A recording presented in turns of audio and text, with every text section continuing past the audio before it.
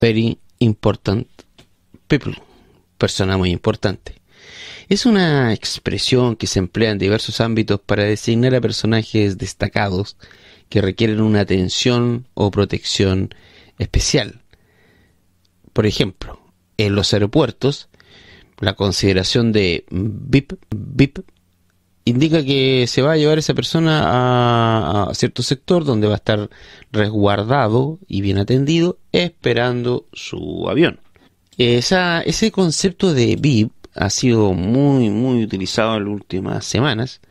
Eh, por ejemplo, me llama la atención, vi un video donde estaba Tonka Tomisis hablando de las personas VIP de la cárcel de alta seguridad, 2, Colina 2, y estaba indignadísima. Eh, no se podía explicar cómo en nuestras cárceles de Chile haber, había presos que eran distintos, que recibían eh, un trato preferente y, me pareció de una de un cinismo.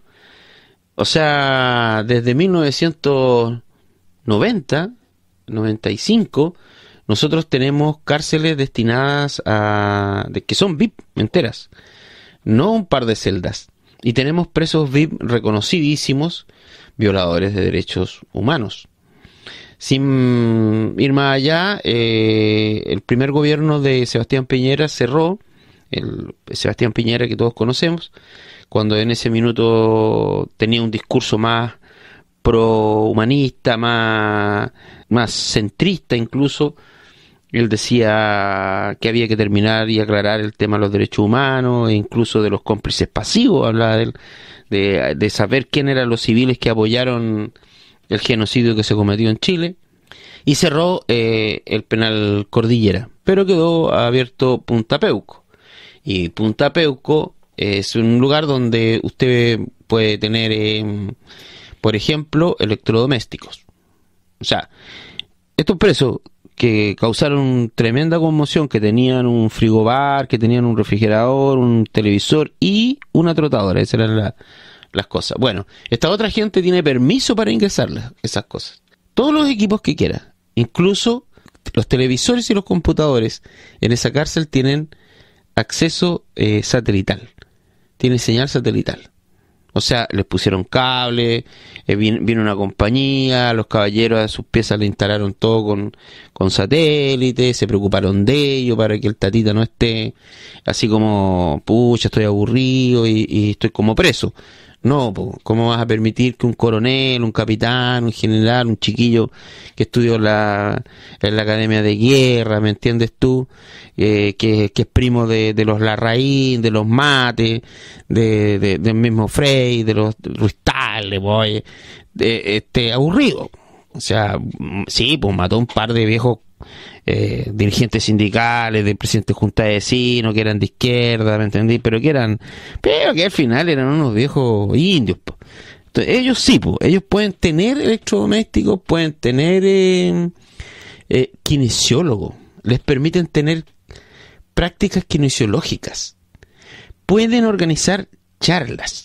No sé qué charla organizará, no sé, asesinato con Corvo 1, eh, degollamiento y, quema de cuerpos, desaparición de personas, eh, uso de identidades falsas, cómo poner bombas en Washington DC y matar embajadores chilenos, no sé, ese tipo de charla puede ser seminarios, ¿me entiendes? Como derrocamiento de gobiernos 1, 2 y 3 no sé, ese tipo de, charlas les permitirán organizar.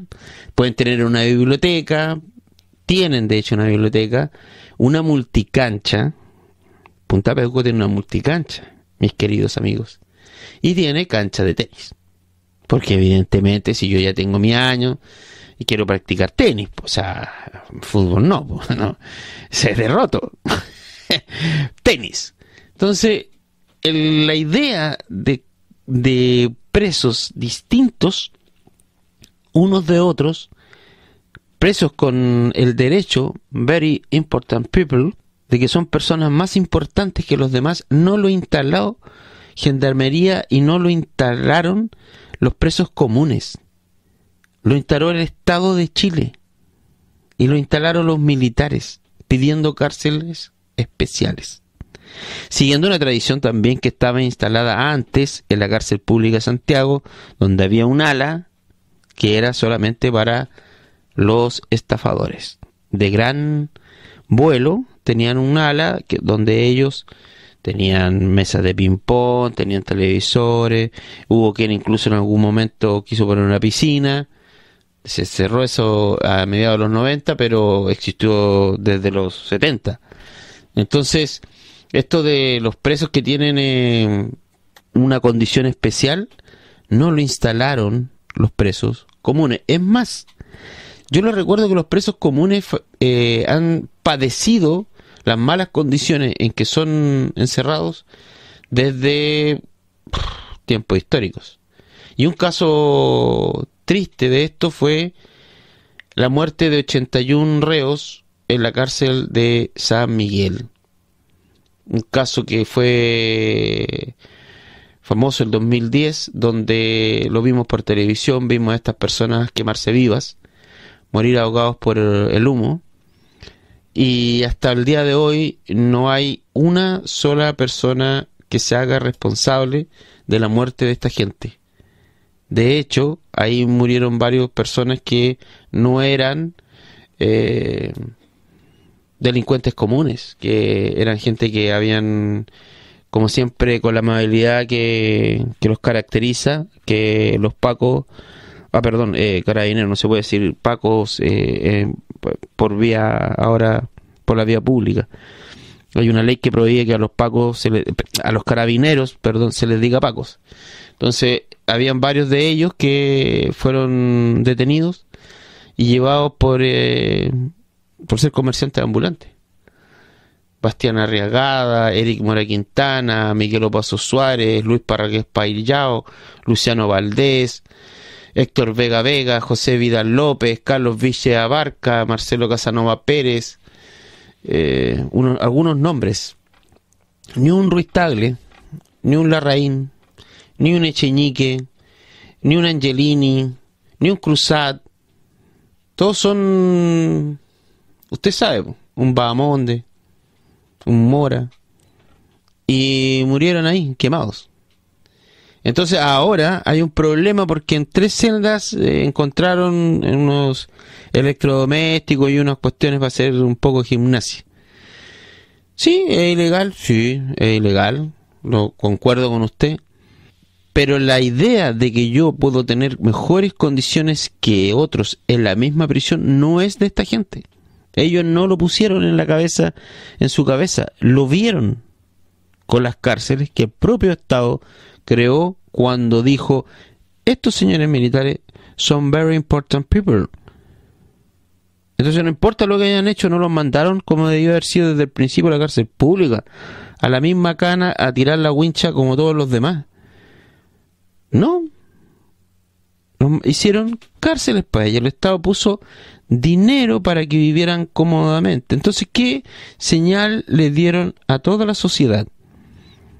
Si usted cae en, la cárcel, en la cárcel también hay diferencias.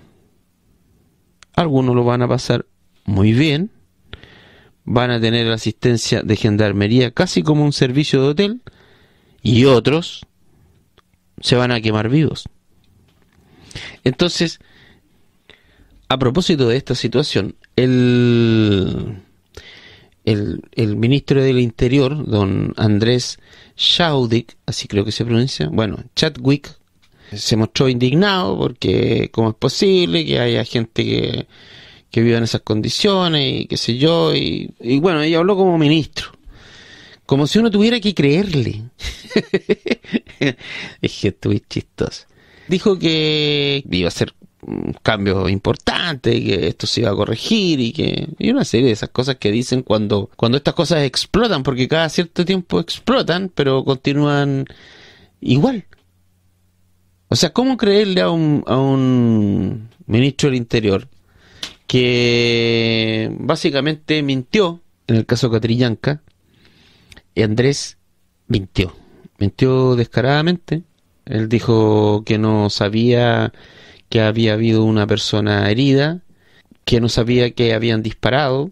Después se supo que él fue informado vía telefónica de toda la situación, que, que cuando salió a los medios a decir que suponía un enfrentamiento y todo aquello que él eh, dijo a destajo, no decir que se llenó la boca, al final de cuentas él sabía que la verdad era otra.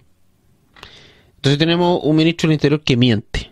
Usted dígalo como quieran, se equivoca, eh, es desprolijo, porque esa es una palabra que le encanta a estos gallos, es desprolijo.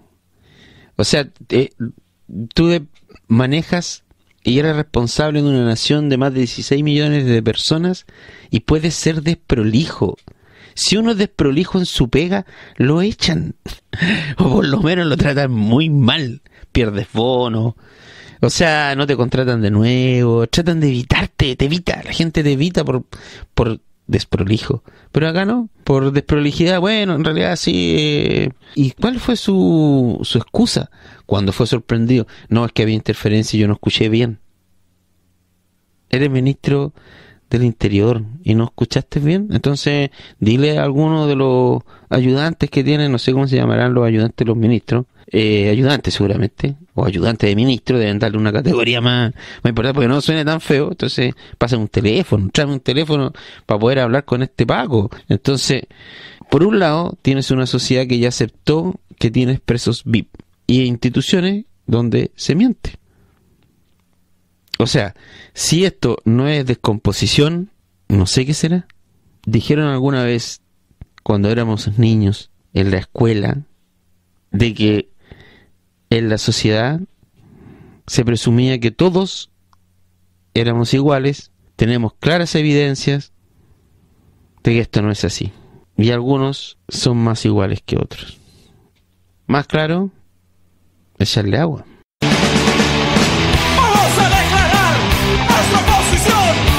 Sistema